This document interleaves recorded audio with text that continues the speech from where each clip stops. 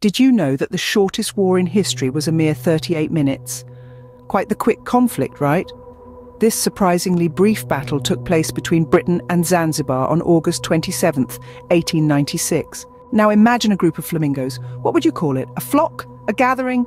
Nope, it's actually referred to as a flamboyance. Quite fitting for such vibrant and unique creatures, wouldn't you agree? Speaking of unique, let's delve into the world of food. Honey is known to be a sweet and delicious treat. But did you know it has an almost eternal shelf life? Archaeologists have discovered pots of honey in ancient Egyptian tombs that are over 3,000 years old and get this, still perfectly edible. From the culinary, we move to the mythical. Unicorns, those legendary creatures, are the national animal of Scotland. Quite the choice for a country that prides itself on its rich history and culture. As we travel from Scotland to France, consider this. The Eiffel Tower, one of the world's most famous landmarks, can actually grow taller. During the summer, due to the thermal expansion of the iron, it can be 15 centimetres taller. Now, let's dive under the sea. Octopuses, those fascinating and intelligent creatures, have three hearts. Yes, you heard right, three hearts.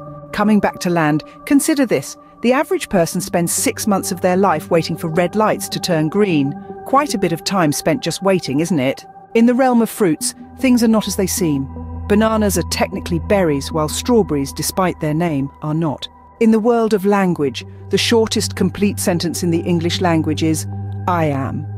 Simple yet profound. Lastly, in our cosmic neighbourhood, a day on Venus is longer than a year on Venus.